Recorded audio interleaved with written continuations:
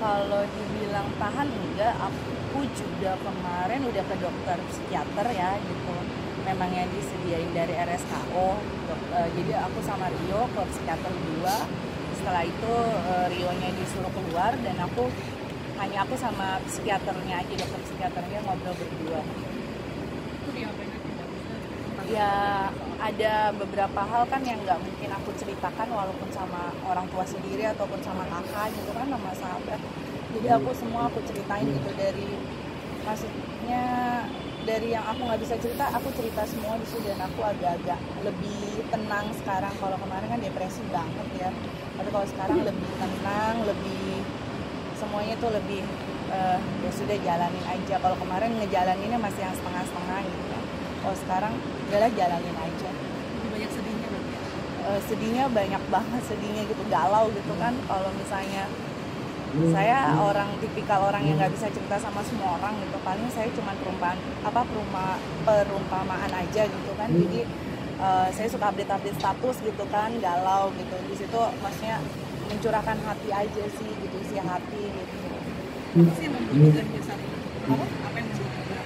Tegar yang membuat tegar karena uh, baby aku ya kan yang ada di kandungan aku sama uh, mama.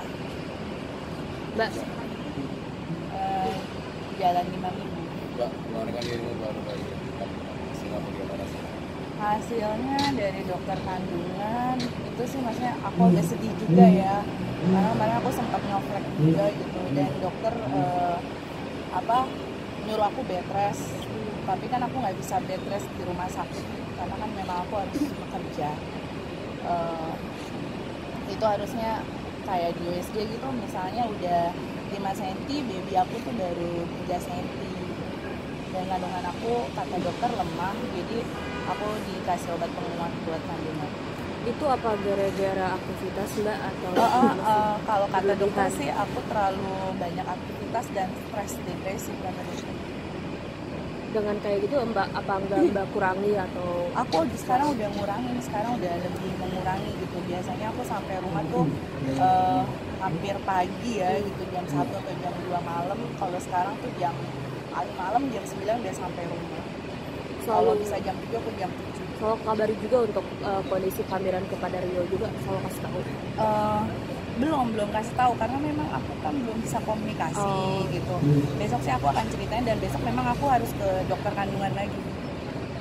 Harus check up lagi